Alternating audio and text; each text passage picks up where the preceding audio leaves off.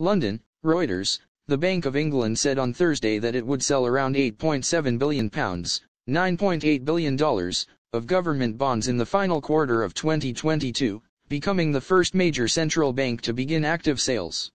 The BOE's Monetary Policy Committee voted unanimously to reduce its £838 billion of gilt holdings by £80 billion over the next 12 months, broadly in line with plans announced last month.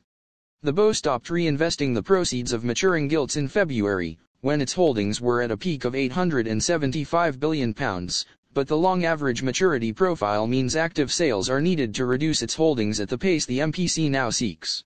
About half of the planned £80 billion reduction, sometimes termed quantitative tightening, QT, will come through regular BOE gilt auctions over the coming year. The BOE will hold 15 gilt auctions between October 3 and December 8, with a planned size of £580 million each. Gilts will be offered in maturity buckets of 3 to 7 years, 7 to 20 years, and over 20 years, with the BOE selling the gilts for which it is offered the best price. The BOE has said it does not expect the program to have a big impact on the market. Though some analysts have expressed disquiet, given recent gilt market volatility and costly government measures to subsidize energy bills and cut taxes.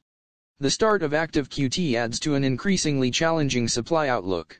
Depending on how much of the new fiscal measures need financing in 2022-23 versus 2023-24 and beyond, we forecast net gilt supply could rise towards 120 billion pounds. This year, HSBC economists Liz Martins and Simon Wells said. The BOE repeated that it would keep a close eye on market conditions, and reserved the right to change the sale program, but that there would be a high bar to doing so and the MPC aimed to review the level of sales on an annual basis.